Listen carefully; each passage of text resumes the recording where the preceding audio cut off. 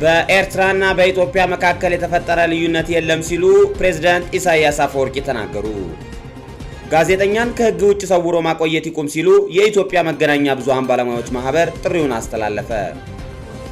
ሩሲያ በዩክሬን እየተካሄደ ያለው ልዩ ወታደራዊ ኦፕሬሽን ነው በሚለው አቋሟ እንደጸናች ነው።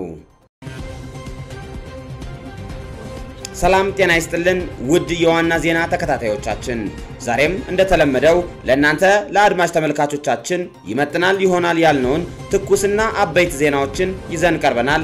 ከዜናዎቻችን ጋር መልካም ቆይታ። በኤርትራና በኢትዮጵያ መካከል የተፈጠረ ልዩነት የለም ሲሉ ፕሬዝዳንት ኢሳያስ አፈወርቂ ገለጹ።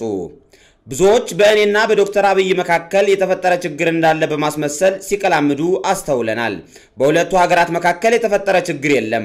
ልዩነታችን ሁለታችንም ሀገር በምናስተዳድርበት የፖለቲካ ርዕዮተ ዓለም ላይ እንጂ በመሰረታዊ የሁለቱ ሀገር ግንኙነት ላይ አይደለም። እኛ መሪዎች ብንሆንም ግለሰቦች ነን።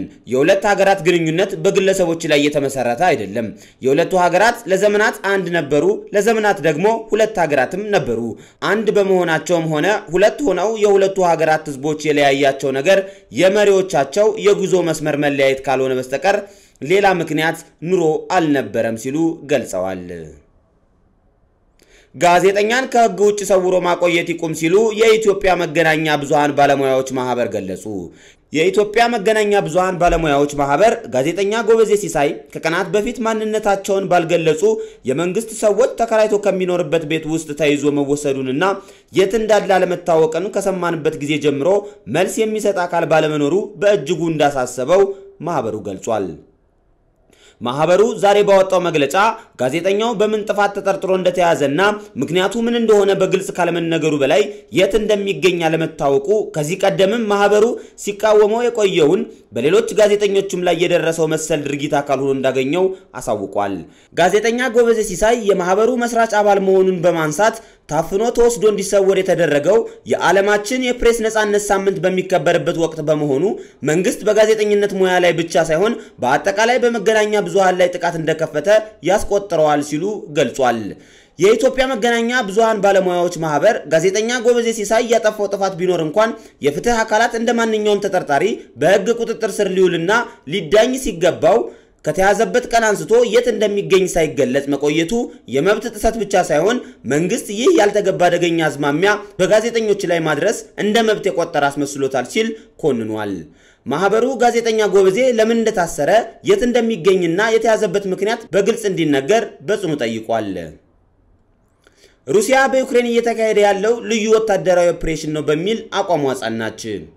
ሩሲያ በዩክሬን እየተካሄደ ያለውን ጦርነት ብዬ አልጠራም አለች። ይህ የተባለው የሞስኮ መንግስት በዩክሬን እያካሄደ ያለው በይፋ ጦርነት ሲል ይገልጸዋል የሚል መረጃ በስፋት ከተሰራጨ በኋላ ነው። ሩሲያ በዩክሬን እየተካሄደ ያለው ጦርነት ሳይሆን ልዩ ወታደራዊ ኦፕሬሽን ነው ብላ ትገልጻለች። ምዕራባውያን የናዚ ጀርመን ሽንፈትና የሁለተኛው የዓለም ጦርነት ማብቃትን በተመለከተ በሞስኮ በሚካሄደው ወታደራዊ ትዕይንት ላይ ፕሬዚዳንት ቭላዲሚር ፑቲን በዩክሬን እየተካሄደ ያለው ልዩ ወታደራዊ ኦፕሬሽን ነው፣ ወደ ጦርነት ደረጃ ከፍ ብሏል ብለው ይናገራሉ ብለው ነበር።